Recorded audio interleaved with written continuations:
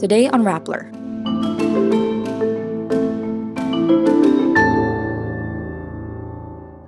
Justice Secretary Boying Remulla says the anti-terror law could be used to go after Congressman Arnie Teves in the Degamo killings. Philippine senators bar Congressman Arnie Teves's virtual appearance in the Degamo assassination probe.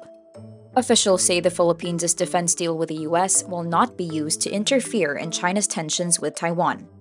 The software engineer behind the viral Philippine travel level map says he used AI chatbot ChatGPT in developing the website.